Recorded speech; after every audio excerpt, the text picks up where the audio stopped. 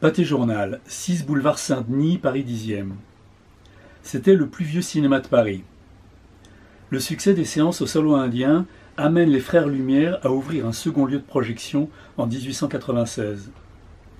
Tout comme leur invention, ils l'appellent Cinématographe Lumière.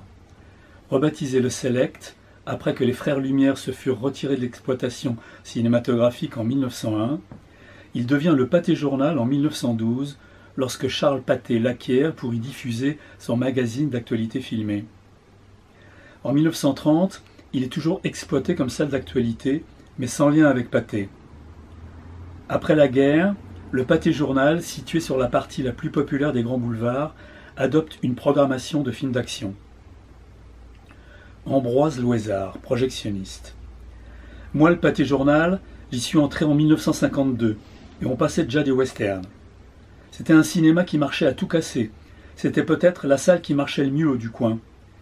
Quand Boubli a repris la salle, il a continué à l'exploiter un peu comme ça, avec des vieilles reprises. Et après, il a fait du karaté. Vous savez, le grand boom du karaté. Puis après ça, ça a été porno. Porno jusqu'à la fin. Le Pâté Journal ferme définitivement le 31 décembre 1992. Vanda Selège, caissière du Pâté Journal, 1990. Je travaillais dans le métro à Richelieu-Drouot, mais j'étais trop âgé pour être titulaire, alors on m'a licencié. Une chef m'a dit Mon petit, si vous voulez, je connais quelqu'un qui peut vous faire travailler comme caissière de cinéma. C'est comme ça que je suis allé au Danton pendant cinq ans et demi. C'était l'usine, je vous dis pas. Il y avait quatre salles, dont une de mille places, à remplir rapidement. Mon système nerveux, nerveux ne tenait pas. Avant de me retrouver à Sainte-Anne, j'ai dit je m'en vais. Le chef opérateur m'a dit Je connais une place, mais c'est dans le porno. Ça m'est égal, j'ai dit. J'y vais tant que mon système nerveux tient encore. Je suis resté cinq ans et demi au midi minuit. Si ça n'avait pas fermé, j'y serais encore. C'était autre chose qu'ici. On travaillait beaucoup, mais c'était un autre genre de clientèle, des clients bien. Le pâté, c'est la dernière étape avant la retraite. J'ai 64 ans, j'en ai marre de travailler. J'ai travaillé toute ma vie. Mais j'ai pas à me plaindre.